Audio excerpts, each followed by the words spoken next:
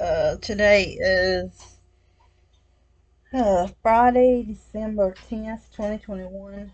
I found it sideways. Get our Christmas tree.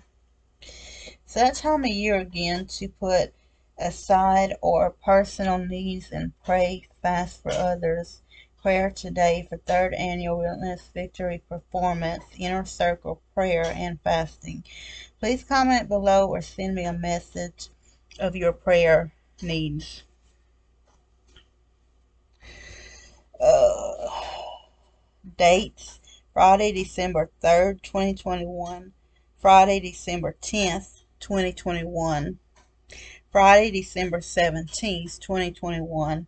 Friday, December 24th, 2021. Last day, Friday, December 31st, 2021.